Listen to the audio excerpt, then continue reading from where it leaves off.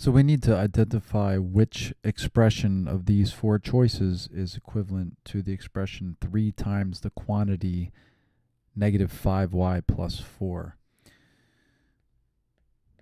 So in order to simplify this expression, what we need to consider is the fact that this is multiplication. It's essentially 3 times this quantity of negative 5y plus 4.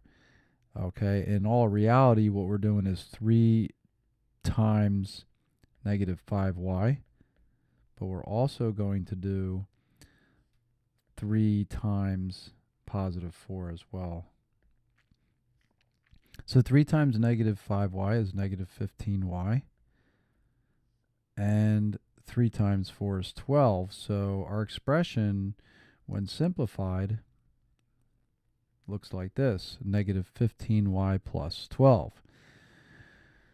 So that leaves us with one choice in here, and uh, it's not that one. Also, while I go through this, um, be, be careful of how they try to make you, uh, you know, kind of stumble upon a mistake. This is not the, cor the correct sign.